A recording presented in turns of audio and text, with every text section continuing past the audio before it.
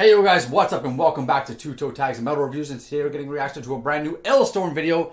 This is for the song called Shitboat No Fans. It's off their latest album Curse of the Crystal Coconut which we reviewed. You should check out a review. And this is like joke song from a joke band so I'm expecting nothing but crazy, nonsensical crap. I Yeah, I mean the album had good songs. This was not one of them, but these guys make awesome and crazy videos. From what I saw in the thumbnail, I think this is an animated music Looks video. animated, yep. So, let's check it out. yep.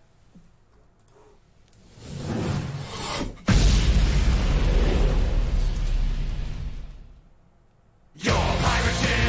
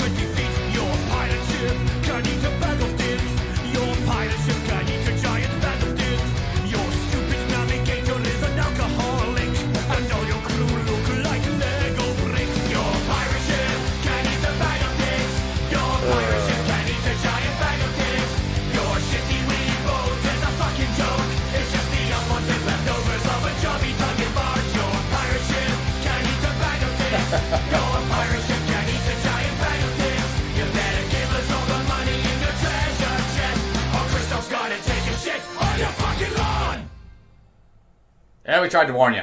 Yeah, I mean that's that's what you'd expect from this band. Eh, neat video. It's funny, goofy. That's what this band's how, about. quite how literal they made the depictions in the video. I mean, it is what it is. It's funny. I think it would have. I think this would have hit us a lot harder if we didn't already know the song. Yeah, because we know the lyrics already. We kind of know what it's about Like, and where they're gonna go with it. We've listened to this out for you know this album for an entire week when we checked it out, so it's Yeah. like we've heard this song over and over. So Yeah. listening to it now is just like okay, we get it. Yeah, so that that like the laugh factor is not there for us, which is why we're not keeling over right now. But it is Yeah. pretty funny. it is. Yeah, it's goofy. I mean, if you like that kind of toilet humor, kind of just immature stuff, which a lot of people do. I mean, I'm sure a lot of people like this video. A lot of people like the song. A lot of people actually like this band. Maybe not as much as we do, or maybe more than we do. Who knows? Anyways, guys, that's it for this reaction. Comment below and let us know what you guys think of this band and this song and this video. Subscribe if you guys are new to the channel. I'm Vile Self. I'm TV We'll Fish. see you guys on the next one.